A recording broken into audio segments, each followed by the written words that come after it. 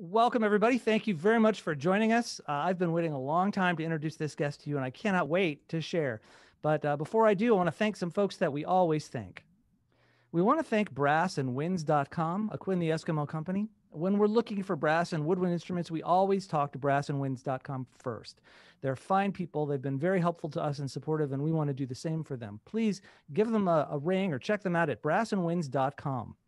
If you're looking for a better way to learn the piano, try truermu.com. Uh, there's online lessons on jazz instruction and soon to be instruction on how to teach beginners the piano. If you'd like to study with a person, check us out at Willow Music.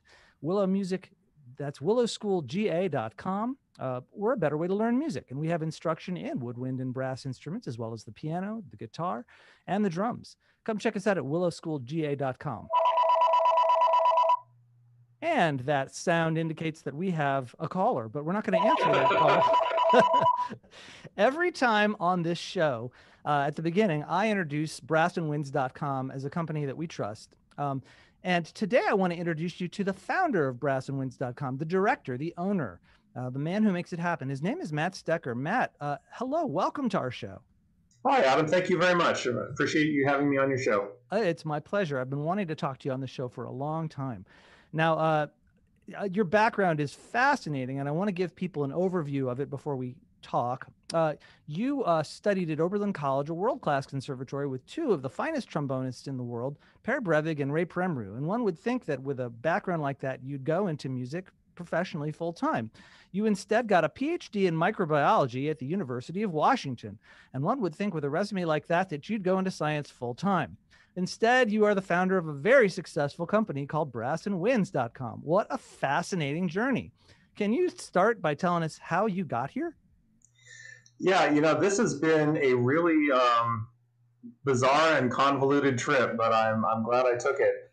Uh, so it really all goes back to um, one studio class at Oberlin uh, after spring break when a fellow by the name of Lance Gaskill, who was a studio mate of mine and a, a fine trombonist, uh, came back from um, from uh, spring break with a tr- trombone that he'd purchased in a pawn shop. It was in a Conn 88H uh, from the uh, what I know now to be the the famous Elkhart period, uh, and these instruments uh, are fairly legendary. They are amazing instruments.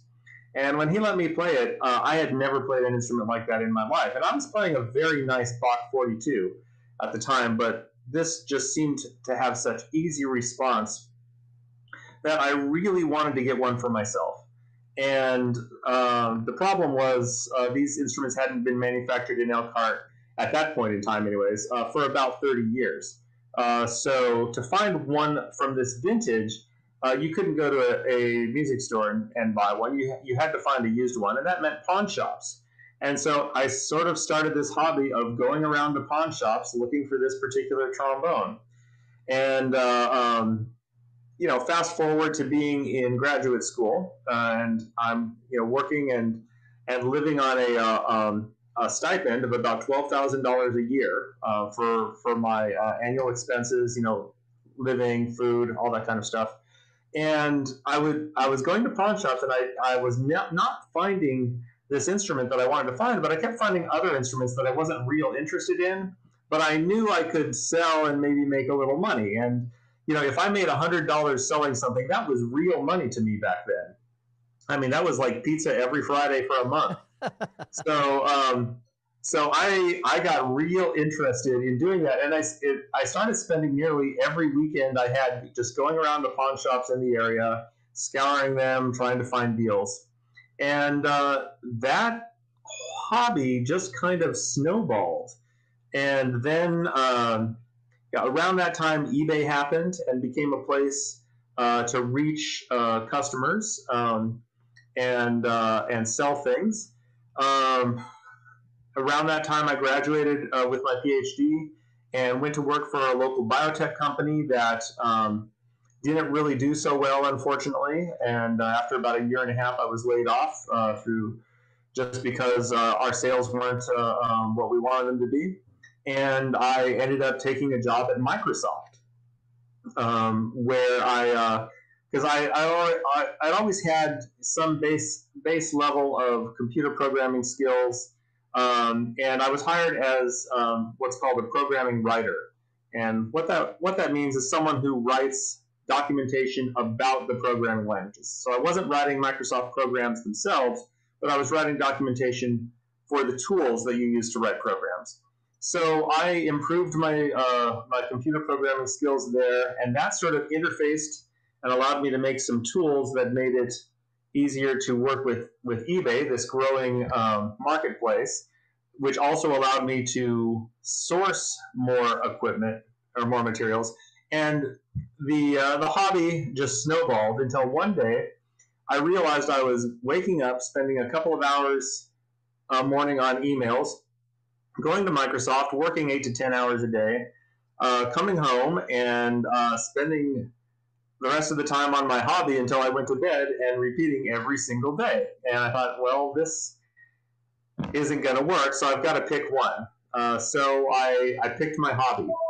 And and we have another caller. yeah. Let me take advantage. let me let me take advantage of the interruption to ask you a question, which is right along sure. the line of your story. What was the how how did you know it was time to quit Microsoft? What was the clue? I mean, you told me in a big picture, but was there a day? There was actually. Um, I uh, I went on this wonderful vacation. Um, so it was it was a, a biking vacation through Tuscany and it was the best vacation I'd ever been on. It was so great, and I had such a great time. And uh, you know, we're biking around, we're eating fine Italian food, we're drinking wine. It was wonderful. And I got back home, and the first day back at work, I was. Uh, like this this glow I had from the vacation did not last a single day. and that's when I realized it was maybe time for me to move on. Nice. Um, and I, I left the company about a month later. Yeah. Were you scared? Um, a little bit, but to be honest, at that point, uh, my hobby was uh, making me more money than my salary at Microsoft was. Oh wow! So, um, so I was knew, yeah safe to jump. I knew it was going to be okay. Yeah, yeah. and uh, um, yeah, so it, it it worked out, and we went through. We did go through some scary bits. I mean, that was that was in 2007, right before the giant uh, collapse of the uh, um, of uh, the housing market, and uh, um, you know we were uh, um, we we paradoxically actually had a pretty good year that year, believe it or not. Um, which uh, you know I won't go into the reasons why, but but it was interesting. Um, but we've um, we've sort of weathered a few storms and have continued to grow. And uh, over the over the course of the next few years, um, we we grew and we developed um, you know developed our company. And in I think it was 2014. Yeah, it was 2014 or maybe 2013.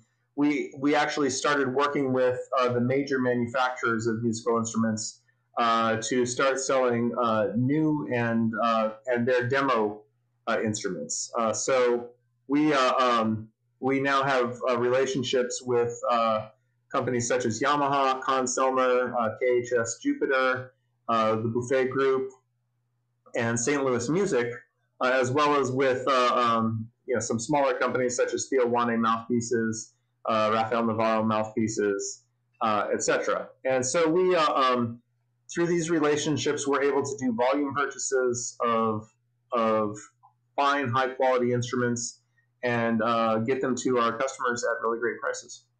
Everybody who has a business would like to be able to connect with the big folks, uh, and you did it.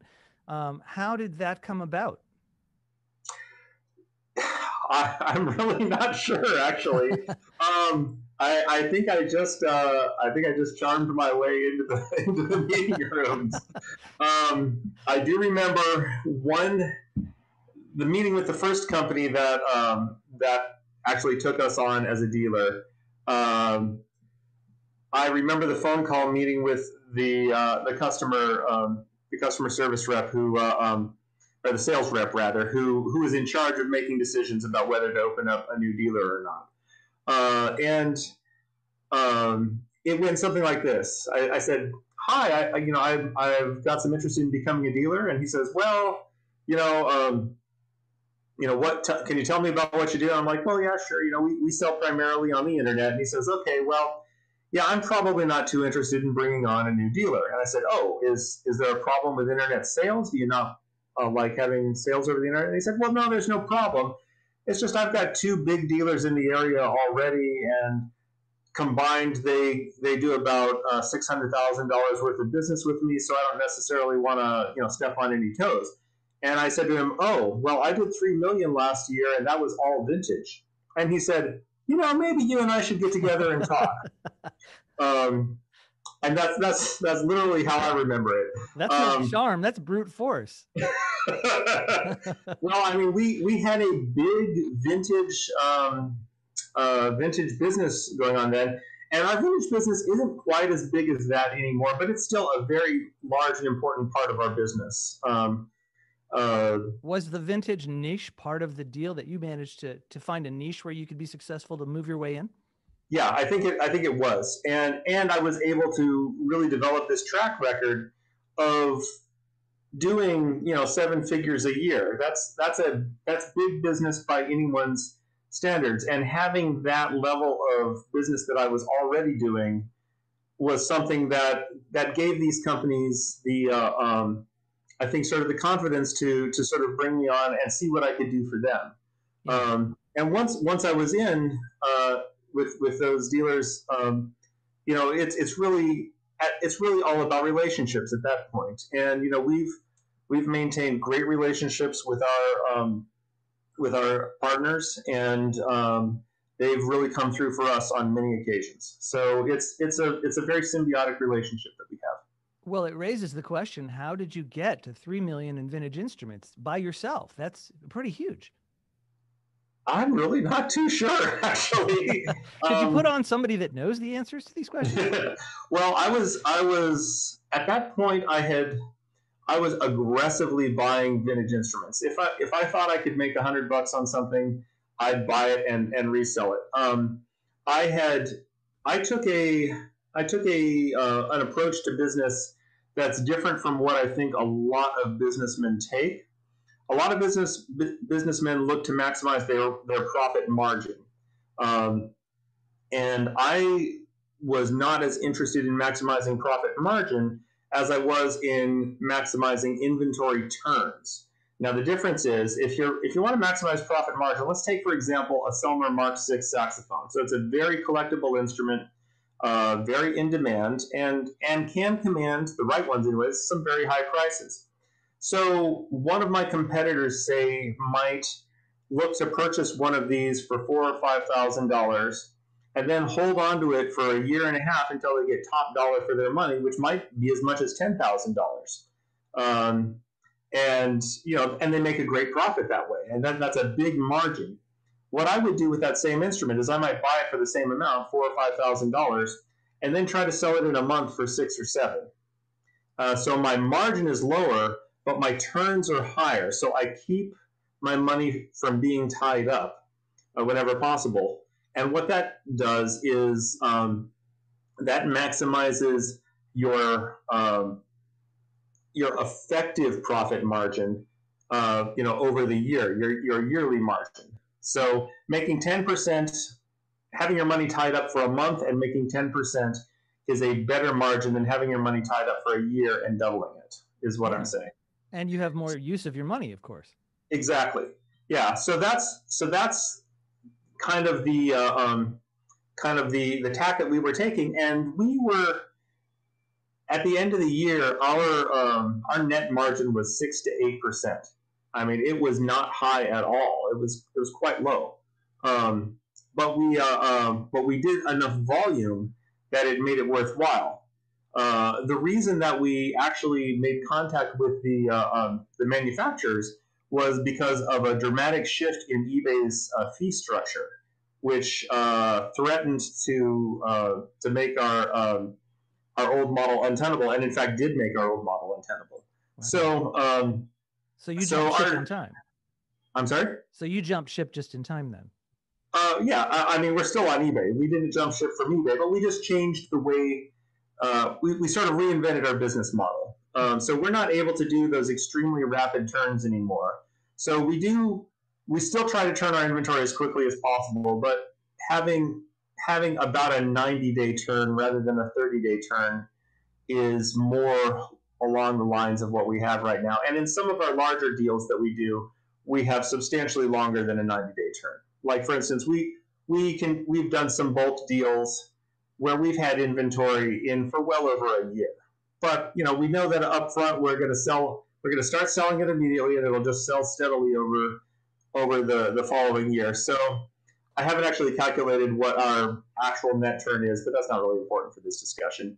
Um, but it's but it's a little longer than, than 90 days, um, which which is what we shoot for. But um, but yeah, uh, we we did we did sort of have to reevaluate how we were um, how we were approaching the business um, in order to continue to survive with um, with eBay's new fee structure, and a lot of our uh, competitors did not survive eBay's um, eBay's fee change. And I'm not just not saying that uh, those competitors no longer exist, but they just found it no longer profitable to um, sell on eBay, which was our main uh, outlet at the time, and still is, to, to be perfectly honest. Um, uh, they uh, and a lot of them just went back to regular brick and mortar stores and uh, decided that it wasn't worth the hassle or the expense of selling on eBay. Since we did not have a brick and mortar store, that wasn't an option for us. So our options were either change or die. Oh, and so you managed to deepen your niche by paying attention to the conditions and altering them. Absolutely. Always have to pay attention to what's going on, or you're going to get caught flat-footed. Yeah. Well, um, do you think um, that the way you're thinking is good for all business people or just the business that you're in? Do you feel like uh, you're operating on sound business principles in general, or do you feel like it's really specific to your organization? Well, I, I think the answer is both. Uh, I mean, I think the, the principles that we do operate on are sound. I mean, buy low, sell high. That's a that's pretty much a universal in business. Um, you want to sell for more than you pay for. Um, at the same time, every single business is different, and you have to have an understanding of the niche that you're in and how you're going to effectively compete with your competitors in that niche in order to um, in order to to design your specific approach. There are things that work for us that would not work for somebody else, and there are many other very successful companies that have approaches that just would not work for us. So, um, do you have an example? So our, well, um, I mean, brick and mortar stores are a great example. Um, you know, say for instance, uh, Music and Arts. They're a, uh, a fantastic chain of uh, musical instrument stores uh, throughout the country. They do great work and uh, um, and you know have a really strong clientele and following. Uh, one of their primary profit centers is through instrument rental. Um, you know, they rent beginning uh, musical instruments to um, to young uh, young students that are just starting out and um, maybe aren't sure if they want to continue with it or not.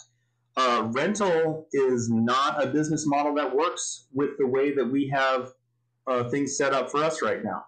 Um, I mean, I would love to figure out a way that we could do uh, instrument rentals uh, through the internet and um, and not have you know physical location stores for people to come to and you know get their instruments and then have them serviced and such. But it just, I mean, there are there are ways that it could be addressed, and there are some companies that actually do a pretty good job of that as well. But it it just seems like it's so much overhead and so difficult that it's not something that we are really very interested in in pursuing at this time because it would it would it would really drag effort away from our primary mission, which is focusing on the higher end brass and woodwind instruments and delivering them to our customers at really great prices. You don't have to be a musician to run a business like yours, and you certainly don't have to be a scientist. Do you feel like there's anything in the training you got in both fields that has assisted you in running your business? Absolutely. Uh, first of all, as being being a musician, the main I mean, the, the number one thing that assists me in running my business is just that love of music. right? Um, uh, I love music, and I understand the joy that music brings t- uh, to people who play it, and so that allows me to really connect, I think, with my customers um, better than say a non-musician would. Also, I've got a trained ear, so I know what to listen for. If I have a customer who happens to come in to try a few instruments, I can listen and I can honestly say, you know what, I think you sound better on this one, or I think you sound better on this one, or that's my opinion, or or maybe if that's you know if there's a sound you're looking for, you should try this one over here that you weren't even thinking about. Um, so that that sort of it sort of helps helps me there. Um, also, as a as a musician, I I appreciate playing a quality instrument myself and I want that for all of my clients. And so that has led to our um, sort of unofficial model of we don't sell junk. Uh, basically, um, there are instruments out there that are garbage, and I'm not going to mention any names because I don't want to get sued into the ground.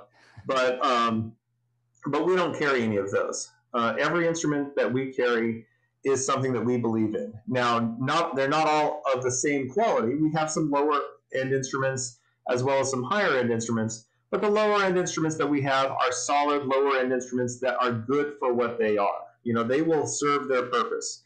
If you're a beginner, this is a great beginning instrument, something you can learn on for two or three years before you're ready to move up.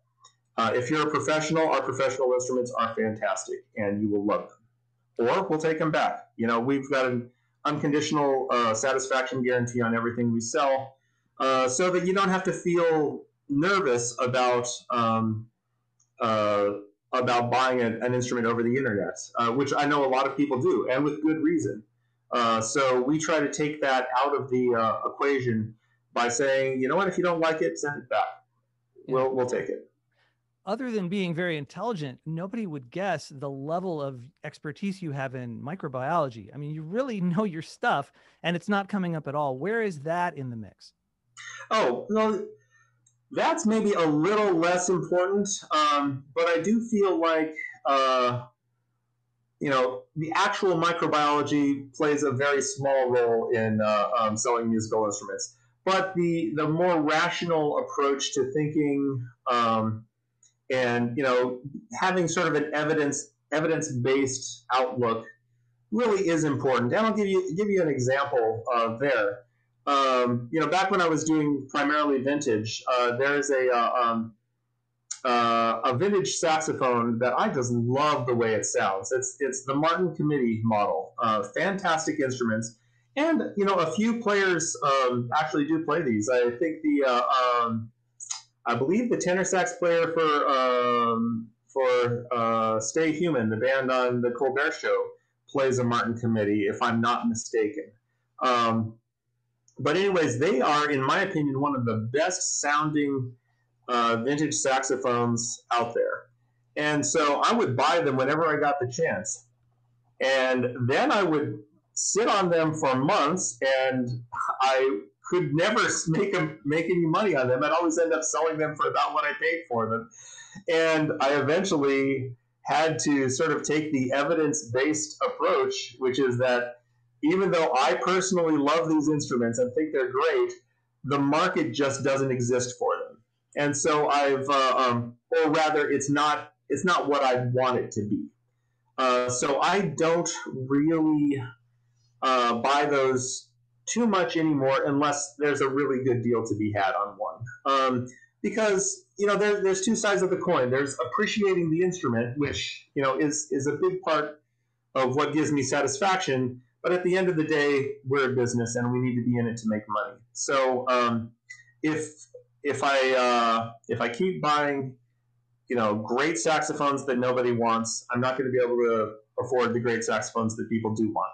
So um, so just you know, being rational and putting my own feelings aside, I think my scientific training has really helped me sort of take that angle.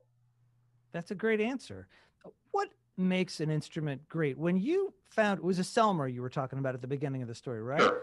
What what was that experience that you had? What isn't what in a brass or wind instrument is tremendous and gives you that fantastic feeling? Oh, you you mean my trombone? That was a Conn. Oh, okay. So I guess yeah. I, yeah what, what I'm asking is, yeah. yeah, what is a great instrument? Well, for that particular instrument, and so what makes a great instrument is different for everybody, uh, and it really depends on what kind of a player you are and what you're looking for. Um, but what I really, what I, I think what it really comes down to is a great instrument helps you sound like you. Um, rather than like somebody else, for instance. Um, and you know what? And, and, and it's an internal thing. Like when I played that that 88H for the first time, uh, I felt like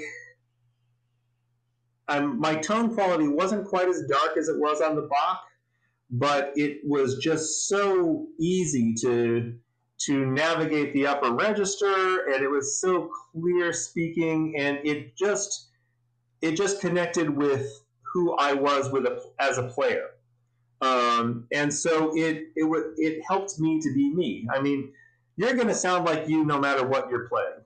Um, but the question is, does your instrument help you sound like you, or does it hold you back from sounding like you? And so that's what we try to do is we try to hook people up with instruments that help you sound like you. Um, and I said to a, a someone on a on a, a, a, Facebook discussion a while back um, how he said that he uh, um, you know, he played an old Vito saxophone and he and he loved it and didn't see any reason why he had to um, why he had to uh, you know buy buy anything more expensive. And I said, you know what, that is great. If you sound great on a Vito, you should be playing a Vito. And a Vito, just uh, for your listeners, um, is is a good, solid, high quality student level instrument. So I mean, it's it's a it's a solid horn, but it's not usually the choice of professionals. Um, but this guy, he sounded great on a Vito, so that's the horn he should be playing. That's the horn that made him sound like him. Will you talk about your two teachers, Per Brevig and Ray Premru? Uh, it'll be helpful for folks to know exactly why they're great, and you know also what they gave you. Absolutely. So I'll start with Per. Um, Per is um, he. So he was formerly uh, the principal trombone uh, of the American Symphony Orchestra under Leopold Stokowski, and then became the uh, principal trombonist of the Metropolitan Opera Orchestra. And uh, um, is a Norwegian uh, who was just a he was a really fine trombone player and a, a fine teacher as well. Uh, he uh, um, I met uh, Per was my my first teacher, and I met him, um, you know, my first year at Oberlin, and um, he really helped me around some technical problems that I was having, and all. But more importantly, uh, you know, I learned I learned two things, uh, two major things from Per that didn't have anything uh, to do with trombone playing and one was, or the first one was, uh, if I'm not good enough, I need to try harder. And the second one was, uh, and this is one of the most important lessons I ever learned um, as a musician, was how to take criticism without feeling personally attacked. Uh, because Per had plenty of criticism for me, and it was and it was all deserved. I learned an awful lot from him, and I improved an awful lot uh, under his teaching. But but I was a mess when I came into came into Oberlin, and Per had a lot to say about it. And you know, it's hard to be a college freshman and you know, and, and having been this big trombonist from this little town in California, uh, and then coming in and having this great big trombonist uh, tell you that everything you're doing is wrong. Um, I mean, that's not exactly it, but but you know, the first few lessons there was a lot of criticism, and you know, if I had if I had taken all of that as a personal attack, I would have just been, you know, personally devastated. And I, you know, I realized he's trying to help me. Criticism is helpful if you can take it like that. Um, you know, and and not everybody has you know altruistic methods with it or uh, uh, uh, intentions with their criticism all the time, of course, and people can be mean, sure, but uh, but you have to recognize when people are trying to be helpful and and take that in the spirit that it's given. So um, that was really, I think, the number one thing I took from Per, outside of um, you know more technical uh, things that we that we discussed. Uh, and and I will also say about Per um, when when I I uh, when I took a uh, piece that I had worked on over winter term into our first lesson back, and that he did not know I was working on, and I played it for him. And after I was done, he simply said, "Bravo." That was perhaps the finest compliment I'd ever received musically in my life. Um, so that's that's the flip side of having someone who's really hard on you is when they appreciate the work you've done, it means so much more. Now, Ray Premru, on the other hand, well, not on the other hand, uh, but moving on, Ray was is was he, he's since passed away, unfortunately. Um, Ray was one of the finest people I've ever known. Uh, what a kind and generous man, um, generous with his time, uh, generous with his knowledge and wisdom, and what an amazing bass trombone player he was. Um, I mean, he had a sound that uh, just could not be beat. Um, and Ray Ray started off uh, his his younger career as a tenor trombonist. He was, I believe, a student of Emory Remington at the Eastman School. I, I might be misremembering that, but I think he was. Um, and he took a trip over to England um, to to do two auditions uh, at England. And I, if I'm if I'm misremembering this, any of Ray's students, I'm sure will will call in and uh, um, and correct me. But I think I'm right about this. So he if I'm remembering correctly, he, he took two auditions in, in London second trombonist for the London Philharmonic and bass trombone for the Philharmonia. And London is, is of course, blessed with, I believe, six uh, professional level uh, symphony orchestras. It's the most of any uh, city in the, in the world. Uh, London Symphony, London Philharmonic, Philharmonia, Royal Philharmonic, and then the two opera orchestras. Um, but uh, uh, but Ray took those two auditions and he won them both. So he had his choice of which job he he wanted, and he did the bass trombone um, audition on a tenor trombone on his 88H that he was playing at the time. And they said to him, "Okay, we'll give you the job, but you have to buy a bass trombone."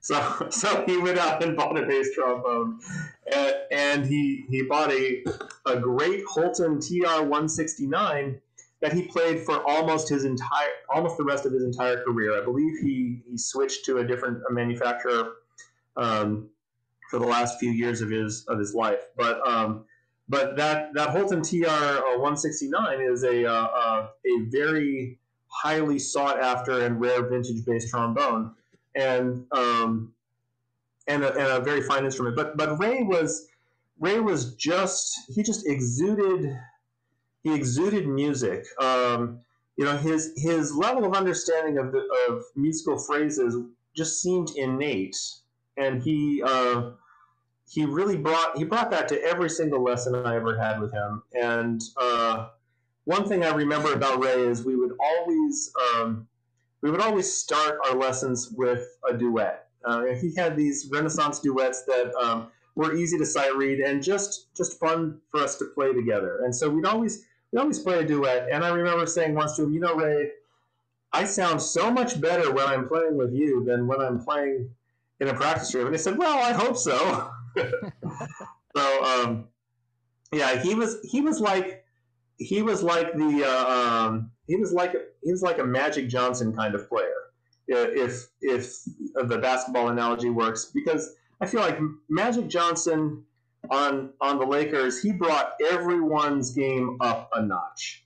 And when you were playing a duet with Ray or playing in a section with Ray, your playing came up a notch. just by having him around and having that musicality around you. And uh, and it was a really great and valuable experience to be able to study with him. And uh, yeah, and I wish he was still with us. Do you feel like, as a boss, you are that kind of boss where you're trying to up the game of the people who work for you? I try to be. Uh, I try really hard. Uh, whether or not I'm successful, you'll have to ask my employees. Um, but Put I them really, on. Let's let's. uh, actually, most of them have gone home. Well, I, the, the tech the tech group are still here, but um, yeah, I think um, I, I really feel like I am. Um, you know, I've I've done my best to cultivate a working environment here that people enjoy being at. Like, I don't ever want anyone to come to their job and think, "Man, I've got to go to my job again," or at least, or at least consistently. I mean, everyone's going to have days like that, sure, but uh, but I don't want anyone to wake up day after day after day dreading coming in here and doing their job. So we try to make it fun. Uh, we you know we work really hard, and so um, I, I I try to make sure that um, you know we, we break it up sometimes. You know every few weeks we we hold an all company meeting where uh, I just well we used to go to this barbecue joint, but uh, more recently I've been um, getting barbecue and bringing it in, but but where we have barbecue and we just sit around and talk and eat barbecue and drink a couple beers and uh, um, and discuss any issues that we have, or we just enjoy barbecue. You know, it's we try to have have a little fun, and days like those make the days when the 30 pallets uh, from one of our uh, partners show up and they forgot to order a lift gate for us. and yes, this actually happened. Uh, you know, it makes those days a little easier to take. So I say enough good things about them. Uh, they they knock it out of the park every single day, and uh, so so am I that kind of boss? I sure hope I am because uh, I I want to do whatever I can for my people uh, to make their lives easier and happier and um, and just great. So so maybe yeah. Well, I, I guess keep working at it. what I'm suggesting perhaps is that uh, Mr. Premru uh, served as that kind of a mentor for you in that way, so that even if you don't feel like you can be that good every day, that's what you're striving for that interrelationship with the people who are with you, so that when they're doing sales with you, they do them better than if they were doing them themselves. Maybe, yeah, absolutely. I mean, I, I don't think I've made that connection, but I but I can definitely see that that could be it. Yeah. Well, uh, I don't need to tell people where they can find you because I mention you every single time we do an interview, but I'll say it once more. Thank you. Yeah, actually, I'll let you. You tell them. Where can they find you? You can find us on the internet at www.brassandwinds.com. Sign up for our mailing list. We've just got our email list uh, going, uh, and uh, we send out specials about once a month or so. So you can be on the look for those if you're on the if you're on the mailing list. Um, you can also find our um, uh, find our uh, uh, products available on either eBay under the sales name Quinn the Eskimo, or on um, Reverb, uh, also under the sales name Quinn the Eskimo uh, Brass and Winds, or Quinn the Eskimo Vintage Horns. I'm not sure which one we are there. Um, but, uh, or you can just give us a call at 425 408 0393, and we'll be glad to answer your questions. And if there's a horn you want, we'll be glad to send it out to you. And we know the phone works. the phone works. Yes. Matt Stoecker, thank you so much for being with us today. And thank you for all you do for us too at the Willow School and Truer MU. We really appreciate your support. It's our pleasure, and thank you. Uh, I had a great time uh, doing this interview, and uh, thank you so much. Thanks. And there's our next caller. Um, okay, I'll, I'll let that ring out before I finish up here. Okay. Three ringy dingies. I'm sure I wireless can mute it somehow, but But it's a little late now. I'm sure there's a way to do it. okay. This is so We're good. exciting. Okay. All right. Thanks very much for joining us on this one. Uh, this was a real pleasure. And if folks, again, if you have questions for me, if you for some reason can't figure out how to make your way to brassandwinds.com, contact me at willowschoolga.com or truermu.com. Uh, we're looking forward to sharing more interviews with you. We've got lots of great guests on our way. Please like our interviews. Please share our interviews. And if you have any ideas for folks you'd like to see us talk to, let us know. We'll see you next time. Thanks very much. Bye bye. Bye bye.